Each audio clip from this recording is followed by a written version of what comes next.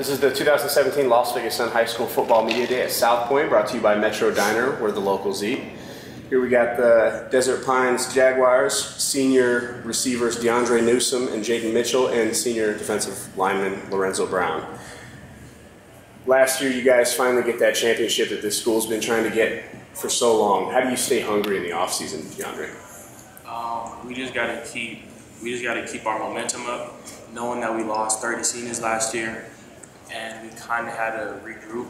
We just want to keep that momentum going throughout the summer and keep it pushing, so it's not like we lost it. Jaden, you guys got a receiver.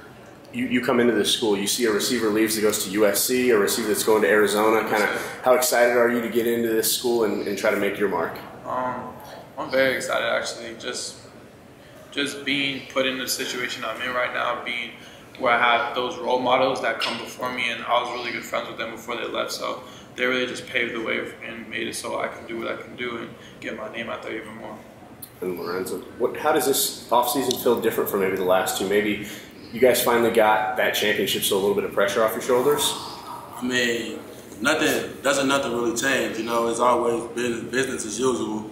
You know, um, a lot of people like like um, we lost a lot of linemen, we lost a lot of a, a, lot of key players and things like that. But you know, Desert Pines, you know, it, there, there's always going to be talent at Desert Pines. You know, we have a lot of young talent, bunch of young bodies. You know, but we just continue to work hard, work hard in the weight room, on and off the field, make sure our grades are cool.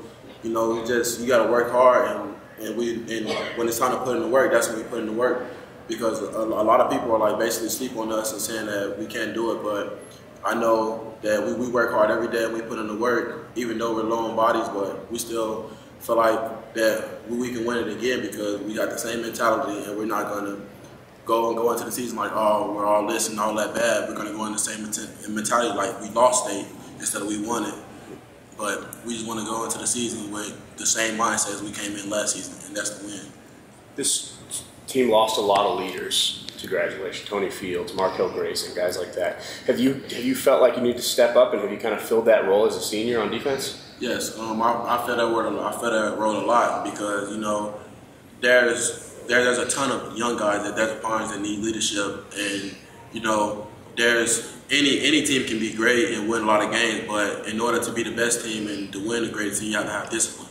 And I feel like we're getting to the point where we're getting very disciplined and we know our roles and when it's time to be a leader, it's time to be a leader, and it's, when it's time to be serious, we know when to get serious. And I'm pretty sure like everybody knows that.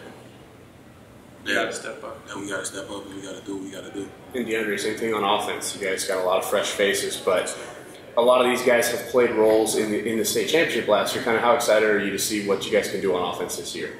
It's it's kind of nerve wracking just to see that we lost almost everyone. But I know we, I know our seniors have to step up and kind of, because we, we were there last year, we know what, we know how it goes. So we kind of have to step up and and teach and, and guide the young ones up with us. And from from what I seen, I was working pretty well.